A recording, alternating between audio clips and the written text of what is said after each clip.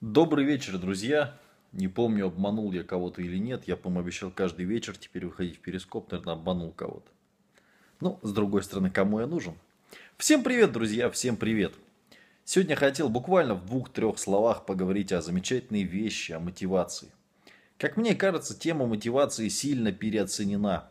Ты или хочешь что-то делать, или не хочешь. Если ты сам не хочешь, но делать это нужно, то чаще всего тебя заставляют обстоятельства. Например, огромное число школьников ходит в школу, потому что их тупо заставляют обстоятельства.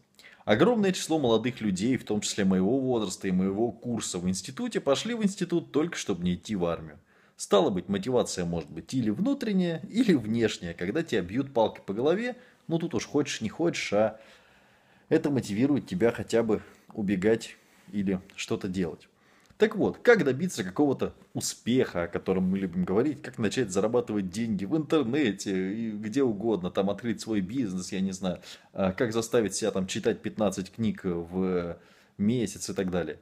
Все это упирается в то, что вам просто должно быть стрёмно этого не делать. И я часто повторяю одно и то же, но тем не менее, самая лучшая мотивация это негативная мотивация. Мы так устроены, Поэтому я рекомендую вам, если вы решили, например, как я, просто живой пример, да, написать книгу быстро, поставить себе замечательную цель, да, написать ее быстро и, соответственно, найти людей, которые это проконтролируют. Я, например, пообещал, что меня могут побить, если я не напишу книжку до 1 июля. Ну и, собственно, книжка была готова даже раньше.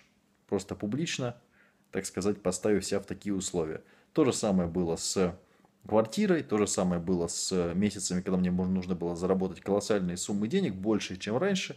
Я просто ставил себе негативную мотивацию и кому-то из людей говорил, что если я что-то не сделаю, можно там мне, допустим, проломить череп. И это всегда работало, всегда хорошо работало, подпитывало меня. Давайте на пару вопросов прикольных отвечу. И растворюсь в ночи. Меня ждет прекрасный вечер с э, книгой, которую я еще не читал. Вот такой презентации в стиле дзен хочу повнимательней, так сказать, получше научиться делать презентации. В последнее время стало очень много презентаций. Здравствуйте, здорово, здорово. Заметил, что многие спикеры, ну, в основном плохие спикеры у нас здесь не делают презентации. Поэтому... Что почитать, кроме того, что на канале? А хрен знает, солнышко. Вот знаешь, я вот сейчас прочитал книжку «Как уцелеть среди, среди акул» Харви Макея. Вот буквально сегодня вот добил ее. Я считаю, что книжка очень достойная, хотя в России автор малоизвестен. Вот из того, что я читал, из свежего, очень даже неплохо. Ну, вот экспресс-маркетинг Левитаса. И еще у меня валяется в этом году я, я начал ее читать, но пока не дочитал.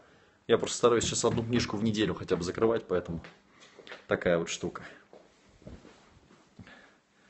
А ты в основном что читаешь? В основном я читаю э, литературу издательства Ман, Иванов и Фербер, деловые книги этого издательства. Чаще всего это они.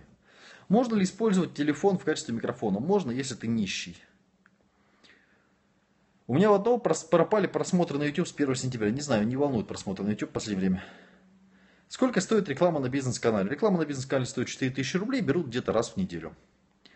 Что можно топовое почитать для развития мозга? Можно почитать книжку «Еда и мозг».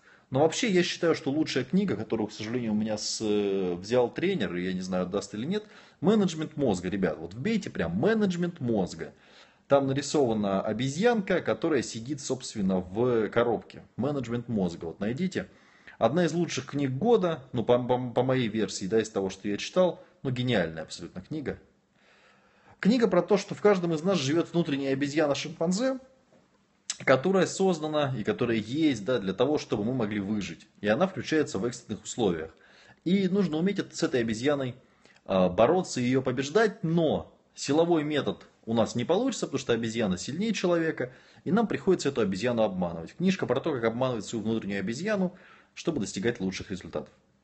Прочитай книгу «Управлять слоном». Ну, судя по названию, что-то около того. Может быть, что-то около того. Ладно, ребят, я исчезаю в сумраке. Всем спасибо, что слушали. Счастья, здоровья. Со многими из вас еще не раз увидимся.